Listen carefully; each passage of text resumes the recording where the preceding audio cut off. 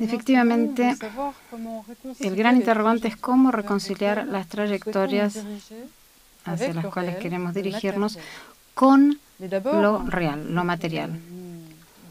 Pero ante todo tenemos que identificar cuáles son estas trayectorias. Muchas de ellas eh, proceden de la labor del GIEC, Grupo Intergubernamental de Expertos sobre Cambio Climático o IPCC, y son de alguna manera imágenes del futuro. Pero ante todo, recordemos cuál es el contexto en el que se publica eh, el trabajo del IPCC. El Grupo Intergubernamental de Expertos sobre la Evolución Climática elabora informes muy completos de varios miles de páginas que constituyen un poco el panorama del conocimiento científico. Ya se han eh, publicado cinco informes al día de hoy y en el último se establece que la acción del hombre en el clima genera riesgos cuyas consecuencias serán nefastas para el planeta.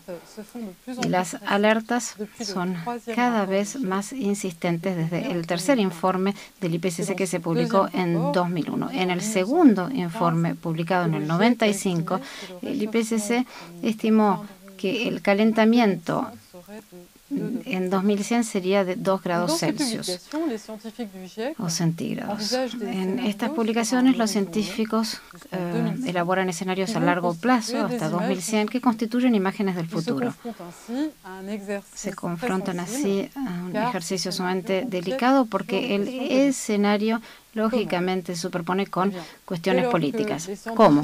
Pues bien, en la medida en que los científicos hablan de escenario de referencia, un escenario de referencia que corresponde a la actividad normal que seguiría, se llama business as usual. Pues bien, los políticos frente a un escenario de referencia temen que se adopte ese escenario como real referencia con respecto a los esfuerzos que habría que implementar.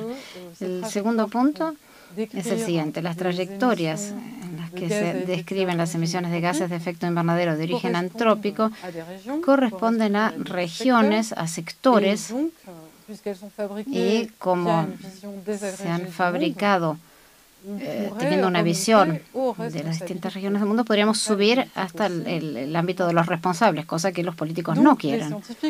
Los científicos tienen que velar porque las imágenes del futuro no sean eh, obligatorias políticamente.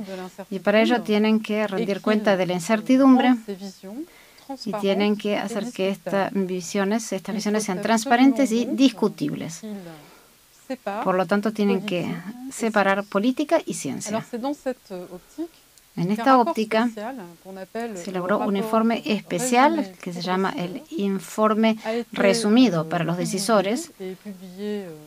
Se publicó se publica, de hecho, con cada publicación del IPCC y es necesario que reciba el visto bueno de todos los políticos que participan en la negociación. O sea que todos eh, todas las, eh, las líneas de este informe se aprueban políticamente y se considera que son pertinentes y que puedan representar todos los intereses nacionales que son muy variados y divergentes. Estos elementos se recalcan en un libro que les recomiendo eh, insistentemente de Stefan Eckert y Amidaon. ¿Qué vemos aquí en este resumen para los decisores? Pues bien, vemos curvas que sintetizan toda una serie de trabajos.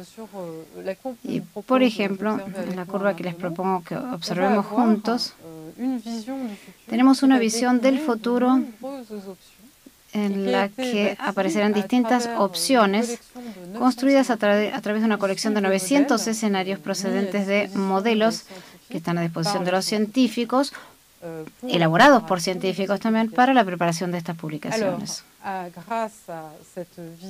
Gracias a esta visión y a esta dispersión, hemos de constatar que es posible obtener un consenso y expresar todas las sensibilidades que eh, cubren una serie de puntos de vista dispares. Por ejemplo, si tomo a los países de la OSIS, es decir, los pequeños estados insulares del Océano Índico, el Pacífico, eh, Bangladesh y algunos otros países que ya están siendo víctimas de eh, sucesos climáticos y cuya existencia se ve amenazada, pues bien, estos países se identifican con esto porque mm, preconizan una retórica del riesgo.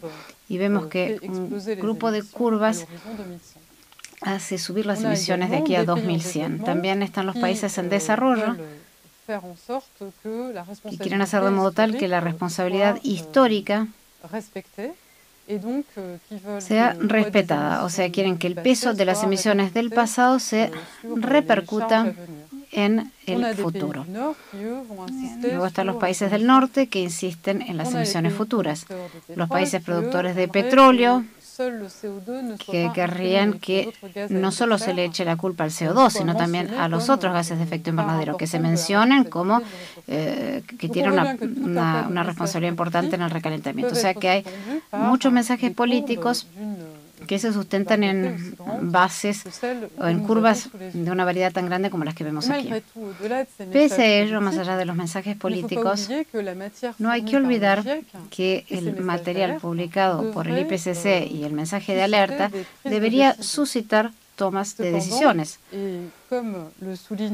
Y como lo dice Amidaron Amy Dehan en esta cita que les muestro aquí, a la par de la aceleración de lo real traducido por la aceleración económica de las emisiones, hay una fábrica de la lentitud en estas negociaciones. Se escriben textos, se alargan, se recortan y finalmente se van postergando año tras año las decisiones. Como se requiere un consenso cuando hay divergencia, se debate de la forma y nunca del fondo.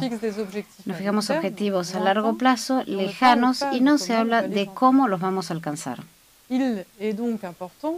Por lo tanto, es importante reconciliar toda una serie de escalas de tiempo muy diferentes para alcanzar una visión que esté conectada con la realidad. Estas escalas temporales tienen que ver con la lentitud de las negociaciones, la redistribución del poder económico que ya hemos mencionado y los plazos climáticos.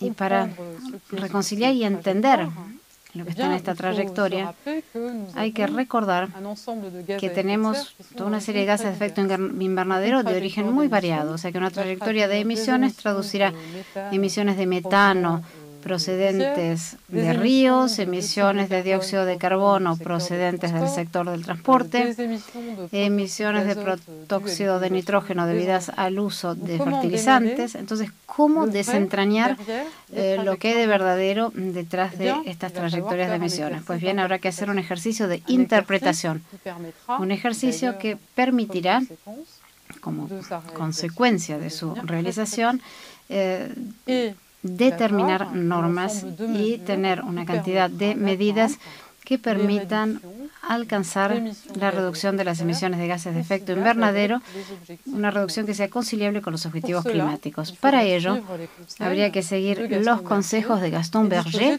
y disponer de un enfoque de perspectiva y modelos que nos permitan eh, elaborar un futuro. Veamos esta metáfora para meditar en ella unir lo real con un objetivo lejano. Es considerar que nuestra civilización es comparable a un automóvil que circula cada vez más rápido en una carretera desconocida cuando cae la noche. Pues bien, sus eh, luces tienen que llegar cada vez más lejos si uno quiere evitar la catástrofe.